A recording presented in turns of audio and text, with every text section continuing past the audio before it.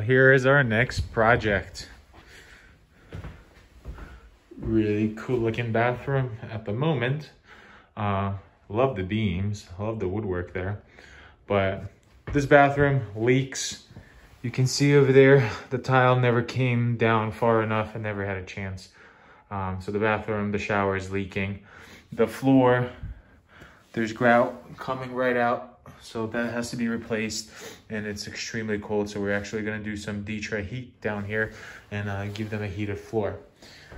Resize this piece of stone, get that fixed and uh, kind of repaint this whole thing and maybe get a new mirror. So that's gonna be our project for the next week and a half. All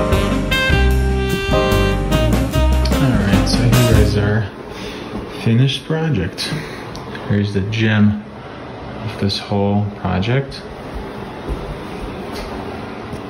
We had our shower come out and wrap around this corner. We blew it out another six inches this way. Nice walk-in 36 by 60 shower pan that we used in there. Got a little pretty cool hook from our local country store. We're gonna have to paint those up. Um, and then we have our heated system. Shower pebbles on the floor. Walking in here, we have our shower head. Tile at the ceiling.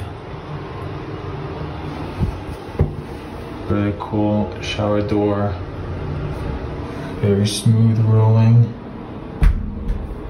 Flush up against the wall there both sides.